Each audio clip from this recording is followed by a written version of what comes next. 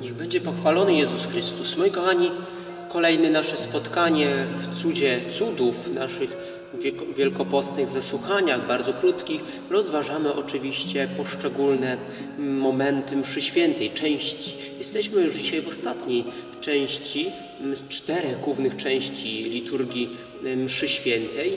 Były obrzędy wstępne, była liturgia słowa, liturgia eucharystyczna i teraz mamy ostatnią część, czyli obrzędy zakończenia. Kochani, na obrzędy zakończenia, jeśli chodzi o mszę świętą, składa się, mm, składają się y, przede wszystkim ogłoszenia, może nie przede wszystkim, ale są tam ogłoszenia.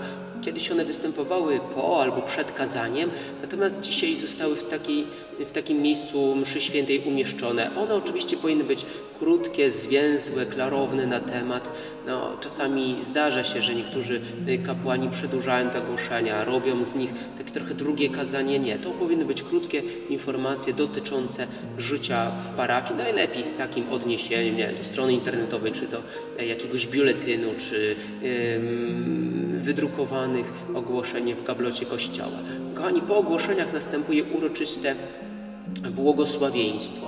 Następują e, słowa Pan z wami i z duchem Twoim. Następuje błogosławieństwo i ono może być proste, zwykłe. Niech was błogosławi Bóg Wszechmogący, Ojciec i Syn i Duch Święty.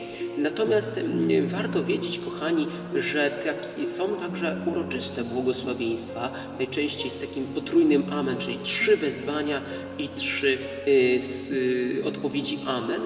Tych uroczystych błogosławieństw jest łącznie 24. Y, można je znaleźć oczywiście w mszy, ale kapłan może z nich skorzystać. Przeznaczone są one na jakieś szczególne wydarzenia, typu na przykład właśnie msza święta ślubna, uroczystość na początek nowego roku, na zakończenie e, roku, na przykład formacyjnego, akademickiego, mogą być na okres liturgiczny, na przykład na okres za chwilę zaczynający się wielkanocny, na Boże Narodzenie. Jest ich do wyboru aż 24, związane na przykład z jakąś tą uroczystością parafialną, czy e, ze wspomnieniem jakiegoś świętego świętej postaci osoby. E, kochani, i po błogosławieństwie w imię Boga w Trójcy Świętej jednego, a może jeszcze zanim po, to warto wspomnieć, że kiedy liturgii przewodniczy biskup, e, wtedy ta formuła błogosławieństwa jest rozbudowana, bo tak to jest ona, e, wygląda ona w ten sposób. Pan z wami, z Duchem Twoim i właśnie formuła błogosławieństwa. Niech was błogosławi.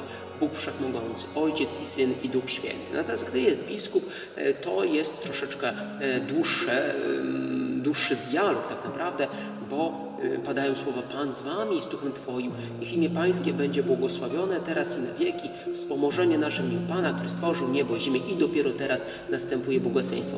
Y, kapłan normalnie błogosławi, czyniąc jeden znak krzyża. Natomiast biskup błogosławi trzema znakami krzyża, czyli Ojciec i Syn i Duch Święty. Czasami nawet jest dozwolona forma czterech znaków krzyża, e, jak on, że na cztery strony świata. I po tym błogosławieństwie kończy się mm, e, kończy się to błogosławieństwo słowami idźcie w pokoju Chrystusa. Czasami idźcie ofiara spełniona.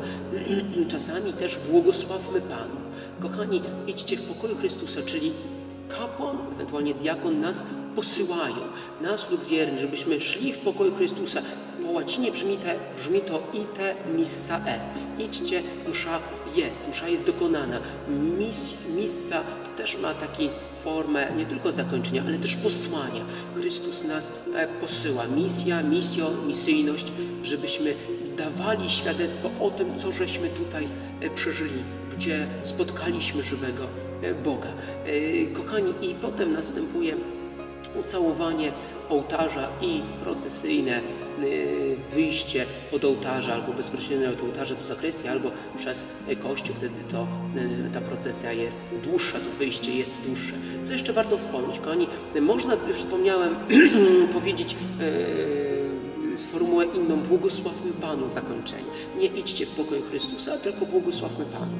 Ta formuła pojawia się, kiedy po mszy świętej mm, następuje jeszcze jakaś akcja liturgiczna, na przykład jest umawiany różaniec, albo jest wystawienie Najświętszego Sakramentu, kiedy wielu wiernych jeszcze pozostaje w kościele. Ci, co otrzymają błogosławieństwo i chcą pójść do domu, idą do domu z tym błogosławieństwem, a ci, co chcą zostać, no to na przykład otrzymają błogosławieństwo Najświętszym Sakramentem. I kochani, tak wyglądałaby e, cała całe wszystkie części mszy świętej. Oczywiście w wielkim e, skrócie jest dużo książek na ten temat, ale chociaż tak w takim e, skrócie chciałem to wszystko powiedzieć jeszcze. Będą dwa odcinki i będą dotyczyły przede wszystkim mm, kultu Eucharystii poza mszą świętą, a także mm, cudów eucharystycznych. Serdecznie Was pozdrawiam. Z Panem Bogiem.